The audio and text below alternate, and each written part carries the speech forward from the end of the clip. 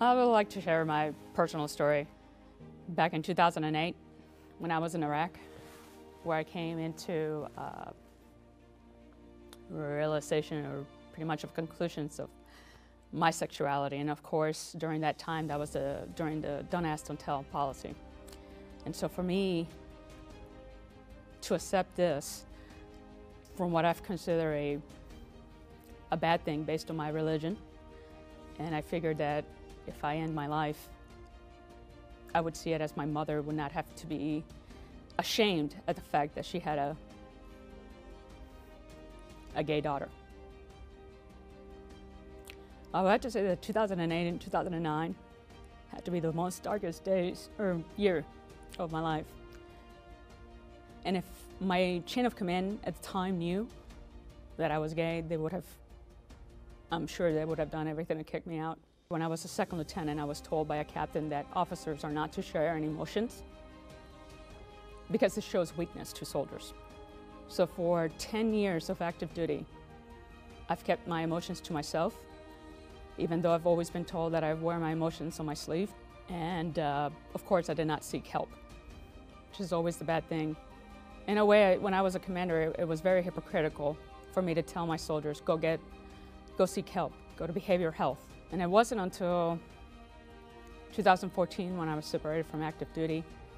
2015 was followed by a divorce. That somehow those, those moments that I lived before in 2008 and 2009, they all came back again. And that was the times that I started thinking uh, once again that I should end my life. But I was not thinking about the pain that I would, that I would bring upon my mother my brother, my family, my friends. And honestly, the thought of hurting my mom, that's what actually sick me or told myself that I need to that I need to get help. While I was in Kuwait, I uh, talked to a therapist about my divorce and active duty, and I found my passion in CrossFit at the time. I'm talking specifically to officers who think that getting help will ruin your career. I'm a major, and I'm hoping to be promoted to lieutenant colonel in the future.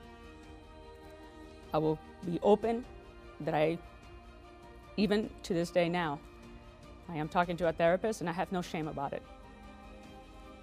Because there shouldn't be any shame about getting help. It feels so good to just let one by one those skeletons out the closet, in a way. And it's actually very rewarding. We, as officers, as leaders, need to reinforce that there is no shame in seeking behavioral health.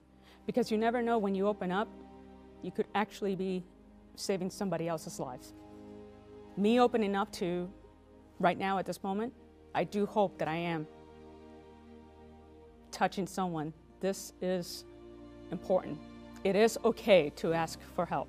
It is okay to talk to somebody. Just hope that we don't have to be going through this over and over again, where it's just, there's no stigma, where soldiers of every rank is open to talk to somebody and get into assistance that they need.